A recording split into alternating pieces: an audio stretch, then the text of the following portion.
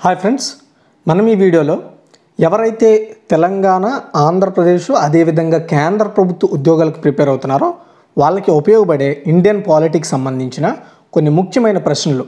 ప్రప్రథమంగా మనకి చాలా రెగ్యులర్గా కొన్ని ఎగ్జామ్స్లో అడిగిన కొన్ని ప్రశ్నలని ఈ జాబితాలోకి తీసుకొని ఈ ప్రశ్నలు తయారు చేయడం జరిగింది. కాబట్టి ఈ వీడియో ఎండ్ వరకు చూస్తే ఇంపార్టెంట్ ప్రశ్నలు అనేవి తెలుస్తాయి. ఇలాంటి మాదిరి ప్రశ్నలు ఇంకా మీరు ఎక్కువ ప్రిపేర్ అవ్వడానికి కూడా మీకు ఒక ఐడియా అనేది రావడం జరుగుతుంది. ఈ వీడియో నచ్చితే లైక్ చేసి షేర్ చేసి మరిన్ని అప్డేట్స్ కోసం మన ఛానల్ ఫాలో అవుతూ ఉండండి. మన ఫస్ట్ ఇండియాలోని the largest learning platform and Unacademy ఎవరైతే ఏపీఎస్సీ టీఎస్పీఎస్సీ పరీక్షల కోసం ప్రిపేర్ అవుతున్నారో వాళ్ళ కోసం పర్టికులర్గా కొన్ని కోర్సెస్ ప్రొవైడ్ చేస్తున్నారు. అండ్ అదేవిధంగా మనకి బ్యాచ్ కోర్సెస్ కూడా తీసుకొస్తున్నారు. లక్ష్యం అనే పేరుతో ఒక కాంప్రహెన్సివ్ బ్యాచ్ కోర్స్ తీసుకొస్తున్నారు. ఎవరైతే గ్రూప్ వన్ గ్రూప్ టూకి ప్రిపేర్ అవుతున్నారో సబ్జెక్ట్ వైజ్గా మనకి ఒక్కొక్క ఎడ్యుకేటర్ ద్వారా మొత్తం ఏడుగురు మంది ఎడ్యుకేటర్ ద్వారా మనకి గ్రూప్ వన్ టూకి సంబంధించి పర్టికులర్గా ఒక బ్యాచ్ కోర్స్ అయితే స్టార్ట్ అయింది. అండ్ అదేవిధంగా జూనియర్ అసిస్టెంట్ కమ్ టైపిస్ట్ ఎగ్జామ్కి సంబంధించి ఒక మాక్ టెస్ట్ సిరీస్ కండక్ట్ చేస్తున్నారండి. ఇది నవంబర్ థర్టీన్త్న ఉండబోతుంది ఈ టెస్ట్ టూ పిఎంకి అండ్ నూట నూట యాభై నిమిషాలు నూట యాభై ప్రశ్నలతో స్కాలర్షిప్ టెస్ట్ ఇది general studies logical reasoning computer proficiency and literacy మీద ఉంటుంది. ఇందులో ఎవరైనా సరే పార్టిసిపేట్ చేసి ర్యాంక్ వన్ నుండి ఫోర్ వరకు ర్యాంక్ సంపాదిస్తే వాళ్ళకి ప్లస్ సబ్స్క్రిప్షన్లో పర్సంటేజ్ వైడ్గా స్కాలర్షిప్ అయితే ప్రొవైడ్ చేస్తారండి. ఇది మీకు ప్లస్ సబ్స్క్రిప్షన్లో మీ డబ్బులు కట్టే వ్యవధిని తగ్గిస్తుంది. అదేవిధంగా ఎస్ఐ కానిస్టేబుల్కి సంబంధించిన మాక్ టెస్ట్ ఉంది. ఇది కూడా నూట యాభై నిమిషాలు నూట యాభై ప్రశ్నలతో ఉంటుంది. ఎంటైర్ ఎస్ఐ కానిస్టేబుల్ సిలబస్ మీద డిపెండ్ అయి ఉంటుంది. ఇది కూడా ర్యాంక్ వన్ నుండి ఫోర్ వరకు ర్యాంక్స్ ర్యాంక్ సంపాదిస్తే వాళ్ళకి ప్లస్ సబ్స్క్రిప్షన్లో పర్సంటేజ్ వైడ్గా and three months one month percentage వైడ్గా మనకి స్కాలర్షిప్ అయితే ప్రొవైడ్ చేస్తారు. తర్వాత తెలంగాణ స్పెషల్ సిరీస్. అంటే తెలంగాణలో ఎవరైతే టీఎస్పీఎస్సి పరీక్షలకు ప్రిపేర్ అవుతున్నారో వాళ్ళకి పర్టికులర్గా ఐదు ఎడ్యుకేటర్ల ద్వారా ఒక బ్యాచ్ని అయితే క్రియేట్ చేసి స్పెషల్గా కొన్ని క్లాసెస్ అయితే కండక్ట్ చేస్తున్నారు. అదేవిధంగా అక్టోబర్ మంత్కి సంబంధించిన వీక్లీ కరెంట్ అఫైర్స్ మీద ముగ్గురు ఎడ్యుకేటర్ల ద్వారా క్లాసెస్ అయితే ప్రొవైడ్ చేస్తున్నారు. ఎవ్రీ ఫ్రైడే యూట్యూబ్ ఫెస్టివల్ పేరుతో అనకాడమీ అకాడమీ సంబంధించిన యూట్యూబ్ ఛానల్లో ఏపీఎస్సి టీఎస్పీఎస్కి సంబంధించి fourteen hours live classes conduct చేస్తున్నారు. అదేవిధంగా మీరు ప్లస్ సబ్స్క్రిప్షన్ తీసుకుంటే వచ్చే ఫ్యూచర్స్ ఏంటంటే నచ్చిన ఎడ్యుకేటర్ ద్వారా నేర్చుకోవచ్చు. కంప్లీట్ ఎగ్జామ్ ప్రిపరేషన్ ప్లాన్ ఉంటుంది. రెగ్యులర్గా డౌట్ లెసన్ సెషన్స్ ఉంటాయి మొత్తం సిలబస్ కవర్ చేస్తారు. ఫ్రీ టెస్ట్ సిరీస్ ఉంటాయి వీక్లీ మాక్ టెస్ట్లు కండక్ట్ చేస్తారు. ఇంకా మోర్ ఫ్యూచర్స్ ఏంటంటే ఇక్కడ క్విజెస్లో పాల్గొనవచ్చు అదేవిధంగా నచ్చిన వీడియోని చూస్తూ వాటి పీడిఎఫ్లు వీడియోస్ని డౌన్లోడ్ చేసుకునే అవకాశం ఉంటుంది. అయితే ప్లస్కి నార్మల్గా ఎలాంటి సబ్స్క్రిప్షన్ తీసుకోకుండా ఫ్రీగా చూసే వాళ్ళకి ఫ్రీలో అన్నీ కూడా లిమిటెడ్ యాక్సెస్ ఉంటాయి. బట్ ప్లస్లో మాత్రం కంప్లీట్ అన్లిమిటెడ్ యాక్సెస్ అయితే ఉండడం జరుగుతుంది. అండ్ అదేవిధంగా వన్ మంత్ సబ్స్క్రిప్షన్ యాక్చువల్గా పదిహేడు వందల రూపాయలు. కింద డిస్క్రిప్షన్లో కోడ్ కనబడుతుంది ఏడియు టెక్ టెన్ అని. ఈ కోడ్ వాడితే మీకు టెన్ పర్సెంటేజ్ డిస్కౌంట్ వస్తుంది ఎవ్రీ సబ్స్క్రిప్షన్ మీద. అంటే పదిహేడు వందలది పదిహేను వందల ముప్పై రూపాయలుగా రావడం జరుగుతుంది టెన్ పర్సెంటేజ్ డిస్కౌంట్ ఎవరికైనా ఇంట్రెస్ట్ ఉంది ఇంటి దగ్గర ఉండి క్వశ్చన్ చూడండి. నేషనల్ డెవలప్మెంట్ కౌన్సిల్ అంటే దేశాన్ని నేషనల్ అంటే దేశవ్యాప్తంగా డెవలప్మెంట్ చేయడం కోసం ఒక కౌన్సిల్ ఉంది. కౌన్సిల్ అంటే కొంతమంది సభ్యులతో కూడిన దిశానిర్దేశం చేసే ఒక కమిటీ లాంటిది కౌన్సిల్ అంటే. దీనికి అధ్యక్షుడిగా ఎవరుంటారు? ప్రధానమంత్రి. అప్పుడు ఆ దేశానికి ఎవరైతే ప్రధానమంత్రిగా ఉంటారంటే మన దేశానికి అప్పటికి ఎవరైతే ప్రధానమంత్రిగా ఉంటారో ఆయనే అప్పటికి ఆ నేషనల్ డెవలప్మెంట్ కౌన్సిల్కి అధ్యక్షుడిగా కొనసాగుతారు.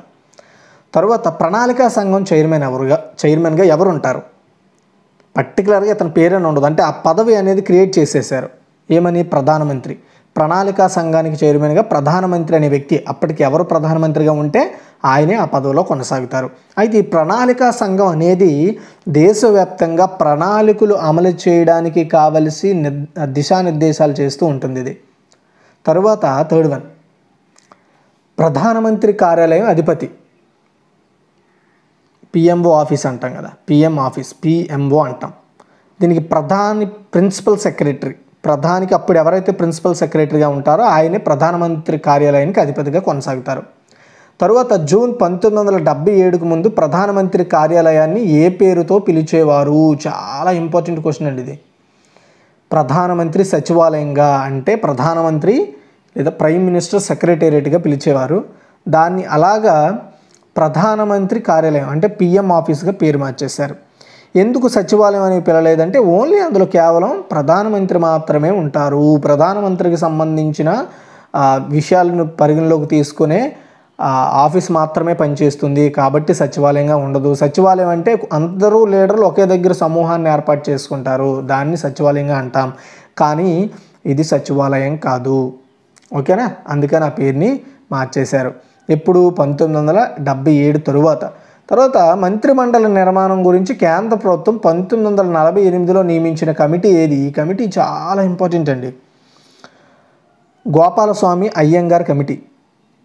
ఇది క్యా మంత్రిమండలి నిర్మాణం ఏ విధంగా చేయాలనే దాని మీద సిఫార్సులు చేయడం కోసం సెంట్రల్ గవర్నమెంట్ పంతొమ్మిది వందల నలభై ఎనిమిదిలో ఈ కమిటీని ఏర్పాటు చేసింది. తరువాత క్యాబినెట్ సెక్రటేరియట్కు అధిపతి ఎవరు? క్యాబినెట్ ఉంటుంది కదా ఆ సెక్రటేరియట్. క్యాబినెట్ అనేది సచివాలయం. చెప్పాను కదా క్యాబినెట్ అంటే క్యాబినెట్ మినిస్టర్స్ ఉంటారు. వాళ్ళందరూ ఒక సమూహంగా ఒక దగ్గర ఉండే ప్లేస్ని సచివాలయంగా పిలుస్తారు. అయితే ఈ క్యాబినెట్ సెక్రటేరియట్కు అధిపతి ఎవరుగా ఉంటారంటే క్యాబినెట్ సెక్రటరీ. అప్పటికి ఆ క్యాబినెట్కి ఎవరైతే సెక్రటరీగా ఉంటారో ఆయన ఆ పదవిని తీసుకోవడం జరుగుతుంది. తర్వాత అయితే ఈ క్యాబినెట్ సెక్రటరీ ఏం చేస్తాడంట? క్యాబినెట్ మినిస్టర్లకు కావాల్సిన అప్డేట్స్ని అక్కడి నుండి వచ్చే ఉత్తర్వులని పాస్ చేయడానికి ఆ పర్టికులర్ ఆ సమూహాన్ని పర్యవేక్షణ చేయడానికి ఆర్డర్స్ని పాస్ చేయడానికి వ్యక్తిగా పనిచేస్తాడు. తరువాత ప్రభుత్వ పాలనకు సంబంధించి కార్యదర్శుల కమిటీకి చైర్మన్ ఎవరు? ప్రభుత్వ పాలన కార్యదర్శులు ఉంటారు కదా వాళ్ళకి కమిటీ చైర్మన్గా ఎవరు ఉంటారంటే లోక్సభ సెక్రటరీ జనరల్. తరువాత క్యాబినెట్ సెక్రటేరియట్లో ఏ విభాగాలు ఉంటాయి? భద్రతా సమన్వయం అండ్ రా. ఈ రెండు కూడా క్యాబినెట్ సెక్రటేరియట్ కిందకు వస్తాయి. తర్వాత వివిధ మంత్రిత్వ శాఖలన్నీ కలిసిన కార్యాలయాన్ని ఏమంటారు? కేంద్ర సచివాలయం సెంట్రల్ సెక్రటేరియట్ అంటారు. అన్ని మంత్రిత్వ శాఖలు ఒకే దగ్గర ఉంటాయి చూడండి. Defence ministry finance ministry and home affairs ministry home ministry next వచ్చేసి అంటే మొత్తం అంతా కూడా ఉమెన్కి ఉమెన్కి సంబంధించిన మినిస్ట్రీ. ఇలా అన్ని మినిస్ట్రీస్ స్పోర్ట్స్ మినిస్ట్రీ అన్ని మినిస్ట్రీస్ ఒకే దగ్గర ఉంటాయి. దాన్ని మనము కేంద్ర సచివాలయంగా పిలుస్తాం. తర్వాత ఏదైనా మంత్రిత్వ శాఖకు రాజకీయ అధిపతి సంబంధిత మంత్రే ఆ శాఖకి హెడ్గా కొనసాగుతాడు. నెక్స్ట్ ప్రభుత్వ శాఖకు అధికార అధిపతి ఎవరు? కార్యదర్శి. అంటే మనము ఇప్పుడు ఒక చెప్ అనుకుంటున్నాం ఏమని? ఇప్పుడు మనం చెప్పుకున్నాం మంత్రిత్వ శాఖ. మంత్రిత్వ శాఖ అంటే మంత్రి హెడ్గా వ్యవహరించే ఒక డిపార్ట్మెంట్. అయితే ఆ మంత్రిత్వ శాఖలో ప్రభుత్వేతర శాఖ కూడా ఉంటుంది. ప్రభుత్వేతర శాఖే మంత్రిత్వ శాఖగా కన్వర్ట్ అవుతుంది. దానికి అడ్డెవరు అంటే కార్యదర్శి. కేంద్ర సచివాలయాన్ని కింద రకాలుగా విభజించారు. అంటే శాఖ వింగు డివిజను బ్రాంచ్ సెక్షన్. దీనిని ఏ విధంగా విభజించారండి? కేంద్ర సచివాలయ సచివాలయాన్ని మూ మొత్తము మూడు విభాగాలుగా విభజించారు. సారీ నాలుగు విభాగాలుగా. సారీ ఐదు. శాఖ వింగు డివిజన్ బ్రాంచ్ సెక్షన్. తర్వాత థర్టీన్త్. టాప్ మేనేజ్మెంట్గా ఎవరిని వ్యవహరిస్తారు అంటే కార్యదర్శి అదనపు కార్యదర్శి సంయుక్త కార్యదర్శి. వీళ్ళే మేనేజ్మెంట్. ఒక మంత్రిత్వ శాఖని మేనేజ్ మేనేజ్ చేసేవాళ్ళు వీళ్ళే. ఓకేనా? కార్యదర్శి కార్యదర్శి కింద అదనపు కార్యదర్శి అదనపు కార్యదర్శి కింద సంయుక్త కార్యదర్శి. కార్యదర్శి అంటే secretary. Additional secretary joint secretary. తర్వాత థర్టీన్త్ అండి. మధ్యస్థాయి మేనేజ్మెంట్గా ఎవరిని వ్యవహరిస్తారు అంటే డైరెక్టర్ అండ్ ఉపకార్యదర్శి అంటే vice secretary and under secretary. వీళ్ళని మధ్యస్థాయి మేనేజ్మెంట్గా పిలుస్తారు. టాప్ మేనేజ్మెంట్ ఎవరు? Secretary and additional secretary joint secretary మధ్యస్థ మిడిల్ మేనేజ్మెంట్ కింద director and vice secretary under secretary తరువాత పద్ పదిహేను. కేంద్ర సచివాలయంలో కాలపరిమితి పద్ధతి ఎప్పటి నుంచి అమల్లో ఉంది? అంటే పంతొమ్మిది వందల ఐదు నుంచి. వివిధ రాష్ట్రాల నుంచి అధికారులు కొంతకాలం కేంద్ర సచివాలయంలో పనిచేసి తిరిగి రాష్ట్రాలకు వెళ్ళడాన్ని ఏమంటారంటే కాలపరిమితి పద్ధతి అంటారు. ఓకేనా? లైక్ ఐఏఎస్ ఐ ఐపీఎస్ ఆఫీసర్లని. తర్వాత కేంద్ర సచివాలయంలో క్రమానుగత శ్రేణిలో మొదటి అంచె పర్యవేక్షకుడు ఎవరు? కేంద్ర సచివాలయంలో ఆ మొత్త సచివాలయానికి పర్యవేక్షకుడిగా ఎవరు ఉంటారంటే సెక్షన్ ఆఫీసర్. అండ్ మంత్రుల సివిల్ సర్వెంట్లకు మధ్యవర్తిత్వం చేసేది ఏంటి అంటే క్యాబినెట్ సెక్రటరీ. మంత్రులకి సివిల్ సర్వెంట్కి అంటే మంత్రికి ప్రభుత్వానికి. మధ్య ఎవరు వారిది? Cabinet secretary. తర్వాత క్యాబినెట్ ర్యాంక్ అనే మంత్రి స్థానంలో రాజ్య మంత్రి అనే పేరుని ఏ సంవత్సరం నుంచి అను అనుసరిస్తున్నారు అంటే పంతొమ్మిది వందల యాభై ఏడు నుండి రాజ్యమంత్రి క్యాబినెట్ ర్యాంక్ క్యాబినెట్ ర్యాంకులో ఉండే క్యాబినెట్ మినిస్టర్ని అందరినీ కూడా రాజ్యమంత్రి అని పిలవచ్చు. తర్వాత ఇరవై పదిహేను ఆగస్టు పంతొమ్మిది వందల నలభై ఏడుకు ముందు తొలి క్యాబినెట్ సెక్రటరీ ఎవరు అంటే Sir Eric Coates. And cabinet సచివాలయం ప్రత్యేకంగా క్రింద వారి కోసం ఏర్పడలేదు. అంటే ప్రధానమంత్రి కోసం మాత్రం క్యాబినెట్ సచివాలయం అనేది ఏర్పడలేదు. ప్రభుత్వం తీసుకునే నిర్ణయాలు ఏవైతే ఉంటాయో ఆ నిర్ణయాలను అమలు చేయడానికి ఆమోదం పొందడానికి క్యాబినెట్ సచివాలయం అనేది ఏర్పాటైంది ఆ సచివాలయం అనేది వాళ్ళందరూ క్యాబినెట్ మినిస్టర్లు అందరూ సమూహంగా ఉండడం కోసం ఏర్పడింది. క్యాబినెట్ సచివాలయం ప్రభుత్వ కార్యకలాపాలను ఎవరికి తెలియజేస్తుంది అంటే మంత్రులకి అదేవిధంగా రాష్ట్రపతి ఉపరాష్ట్రపతికి వీళ్ళు ముగ్గురు వీళ్ళ ముగ్గురికి సచివాలయం తీసుకునే ప్రభుత్వ కార్యకలాపాలన్నీ వీళ్ళకి తెలియజేస్తూ ఉంటుంది. తర్వాత ఇరవై మూడు కేంద్ర ప్రభుత్వంలో ప్రధాన సమన్వయ సంస్థ ఏది అంటే క్యాబినెట్ సచివాలయం. క్యాబినెట్ సెక్రటేరియే సెక్రటేరియటే సెంట్రల్ గవర్నమెంట్లో ప్రధాన సమన్వయ సంస్థగా పనిచేస్తుంది. తర్వాత క్యాబినెట్ సెక్రటరీ విధి ఏమిటి? క్యాబినెట్ సెక్రటరీ విధి ఏమిటి అంటే అన్ని శాఖలపై పర్యవేక్షణ చేయడము అన్ని శాఖలు పాలనా వ్యవహారాలు చూసుకోవడమే క్యాబినెట్ సెక్రటరీ పని. అతనిదే పెద్ద పని అనమాట మొత్తం అన్ని మంత్రిత్వ శాఖలు అతని కింద పనిచేస్తాయి క్యాబినెట్ సెక్రటరీ కింద. అండ్ క్యాబినెట్ అనే పదం రాజ్యాంగంలో ఏ ప్రకరణలో కనిపిస్తుంది అంటే మూడు వందల యాభై రెండవ ప్రకరణం అనుసరించి క్యాబినెట్ అనే పదాన్ని జోడించారు. అండ్ పోర్ట్ఫోలియో విధానాన్ని ఎప్పుడు ప్రవేశపెట్టారు? ఆన్సర్ చూసుకున్నట్లయితే పద్దెనిమిది వందల యాభై తొమ్మిదిలో పోర్ట్ఫోలియో విధానాన్ని అమలు చేయడం జరిగింది. అయితే పోర్ట్ఫోలియో విధానం అంటే ఏంటి మన భారతదేశంలో అంటే ఏ సంబంధిత శాఖకు సంబంధించిన అధికారులు ఆ సంబంధించిన విషయాలని బయట పెట్టడం ఆర్డర్స్ పాస్ చేయడం అనే బాధ్యతలు బాధ్య బాధ్యత విధి విధానాలను తీసుకురావడమే పోర్ట్ఫోలియో విధానం ఉద్దేశం. తర్వాత దేనివల్ల క్యాబినెట్ సెక్రటరీ హోదా హోదాకు ప్రమాదం ఏర్పడింది అంటే ప్రైమ్ మినిస్టర్స్ ఆఫీస్ వల్ల క్యాబినెట్ సెక్రటరీ హోదాకు ప్రమాదం ఏర్పడింది. ఇది మీరు గుర్తుపెట్టుకోవాలి. తర్వాత పోర్ట్ఫోలియో విధానాన్ని ఎప్పుడు చట్టబద్ధంగా గుర్తించారంటే పద్దెనిమిది వందల డెబ్బై ఒకటిలో.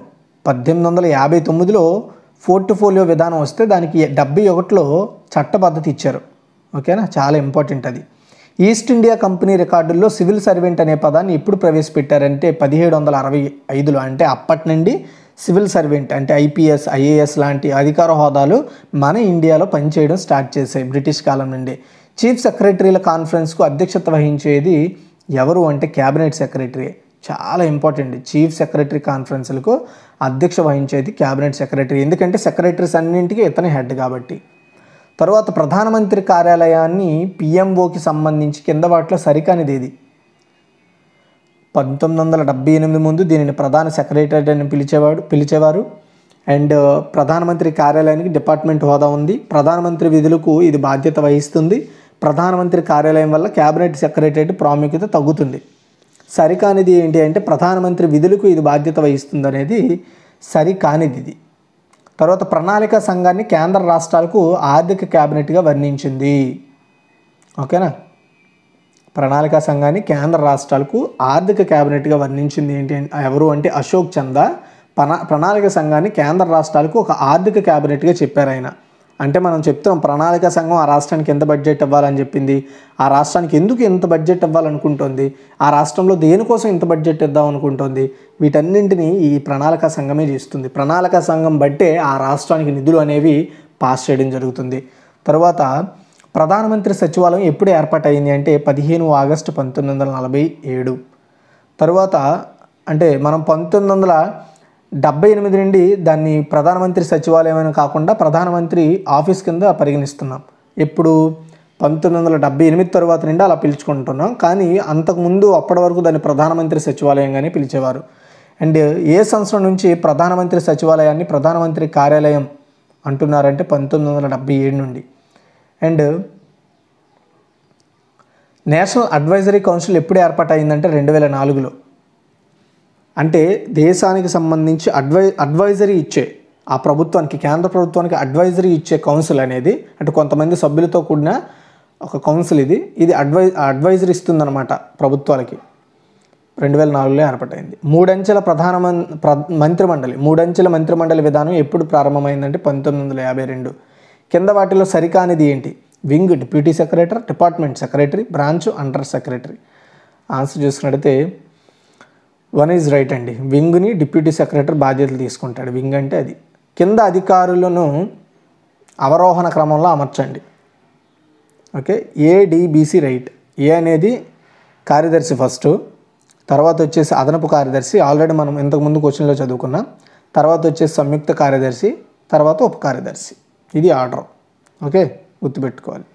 తర్వాత ఏ బిల్లు ప్రవేశపెట్టే ముందు రాష్ట్రపతి అనుమతి అవసరం లేదు అంటే పన్ను సంబంధిత బిల్లుకు ప్రెసిడెంట్ పర్మిషన్ అవసరం లేదు. వ్యాపారంపై ఆంక్షలు విధించడానికి ప్రెసిడెంట్ పర్మిషన్ అవసరం లేదు. రాష్ట్రాల పునర్విభజన బిల్లుకు అతని అవసరం లేదు వీటన్నింటికి. ఓకే? తర్వాత కనీస మద్దతు ధరల పథకాన్ని పంతొమ్మిది వందల తొంభై ఆరు తొంభై ఏడులో ఏ మంత్రిత్వ శాఖ ప్రవేశపెట్టింది అంటే చాలా ఇంపార్టెంట్ అండి. ఇది వ్యవసాయ మంత్రిత్వ శాఖ. కనీస మద్దతు ధర అంటే రైతు పండించే రైతుకి కనీసం మరీ ఐలో కాకుండా కనీసం మద్దతు వచ్చేలా ఒక ధరని నిర్ణయించడాన్ని అనే ఒక పథకాన్ని పంతొమ్మిది వందల తొంభై ఆరు తొంభై ఏడు ఆర్థిక సంవత్సరంలో వ్యవసాయ మంత్రిత్వ శాఖ ప్రవేశపెట్టింది. ఏ ప్రకరణ ప్రకారం మైనారిటీలు విద్యాలయాలు ఏర్పాటు చేసుకోవచ్చు అంటే ప్రకరణ ముప్పై రాజ్యాంగంలో ఏర్పాటు చేసిన దాంట్లో. షెడ్యూల్డ్ కులాలను నిర్ధారించే అధికారం ఎవరికి ఉంటుంది అంటే రాష్ట్రపతికి. షెడ్యూల్డ్ కులాలను నిర్ధారించే అధికారం ఎవరికి ఉంటుంది? రాష్ట్రపతికి. కాబట్టి అతని నుండి వచ్చే గెజెట్ నోటిఫికేషనే ఫైనల్. ఇది గైస్ టోటల్గా అప్డేట్స్ అనమాట ఇది పాలిటీకి డిపెండ్ డిపెండ్ అయిన క్వశ్చన్స్. ఇవి ఫ్యూచర్లో ఖచ్చితంగా అడగొచ్చు అండ్ దీనికి రిలేటెడ్ అడగొచ్చు. నేను ఇచ్చిన క్వశ్చన్స్నే చిన్న మాడిఫై చేసి లేదా ఉన్న వాటినే చిన్న చిన్న మార్పులు చేసి క్వశ్చన్స్ అయితే అడగొచ్చు. కాబట్టి ప్రతి ఒక్కరు ఏంటంటే మీ నాలెడ్జ్ని పెంచుకోండి పాలిటీ సైడ్. పార్లమెంట్ అంటే ఏంటి? ప్రధానమంత్రికి ఉండే అధికారాలు ఏంటి? ప్రధానమంత్రి ఆ- ఉండే అధికారాలు ఏంటి? రాష్ట్రపతి అధికారాలు ఏంటి? రాష్ట్రపతి ఆఫీస్కు ఉండే అధికారాలు ఏంటి? అది చేసే పనులేంటి? అండ్ అందులో ఉండే సెక్రటరీ ఎవరు? ఇవన్నీ సచివాలయ సెక్రటరీ ఎవరు? పార్లమెంట్ సెక్రటరీ ఎవరు? అతను ఏం చేస్తాడు? అతని విధి విధానాలు ఏంటి? అదేవిధంగా లో- లోక్సభ స్పీకరు రాజ్యసభ స్పీకర్లు వాళ్ళ యొక్క అధికారాలు ఏముంటాయి? ఎవరికి ఎక్కువ ప్రాధాన్యత ఉంటుంది? అదేవిధంగా రాజ్యాంగం ఏంటి? రాజ్యాంగంలో ఉన్న చట్టాలు ఏంటి చట్టాలను ఎవరు తయారు చేస్తారు? వాటిని ఎవరిని కాపాడతారు? వాటిని ఎవరు అమలు చేస్తారు? వాటిని ఎవరు రూపొందిస్తారు? వాటిని రూపొందించడానికి ప్రభుత్వాలు ఎలాంటి చర్యలు తీసుకుంటాయి? ఇలాంటివన్నీ కూడా మనం తెలుసుకోవాలి. రాష్ట్రాలు ఏ విధంగా ఏర్పడితే రాష్ట్రాలు ముఖ్యమంత్రుల హోదాలు ఏ రాజ్ ఏ చట్ట అంటే ఏ అధికారం ద్వారా ఇవ్వడం జరిగింది అవి ఎలా పనిచేస్తాయి వాటి యొక్క పూర్తి అధికారం ఎవరి దగ్గర ఉంటుంది అసలు గవర్నర్లు ఎందుకు నియమించబడతారు గవర్నర్లుగా ఎవరిని నియమిస్తారు అసలు గవర్నర్లు వయసు ఎంత ఉండాలి అదేవిధంగా గవర్నర్లు విధి విధానాలు ఏమిటి గవర్నర్లు రాష్ట్రాల్లో ఏం చేస్తారు వీటన్నింటిని మనము తెలుసుకోవాలి. ఆటోమేటిక్గా అలా డైలీ ఒకదానికి ఒక సబ్జెక్ట్ గురించి అలా తెలుసుకుంటూ పోతే ఆటోమేటిక్గా ఒకదానికి ఒక సింక్ ఉంటుంది ఆటోమేటిక్గా మీకు అర్థమవుతుంది. మీకు ఈ వీడియో నచ్చితే లైక్ చేసి షేర్ చేసి మరిన్ని అప్డేట్స్ కోసం మన ఛానల్ ఫాలో అవుతుండండి.